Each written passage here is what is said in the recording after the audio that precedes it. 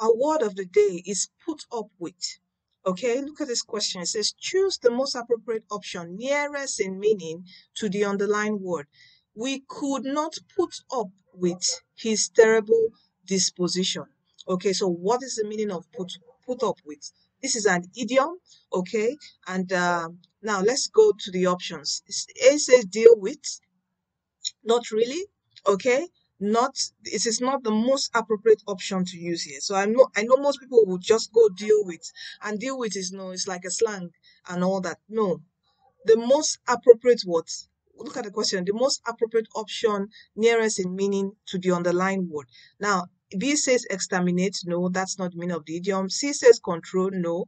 Now, the right option here is tolerate. Okay. When you can't put up with something, you can't tolerate, uh, tolerate it. You can't cope with it. So, you can't what? The right answer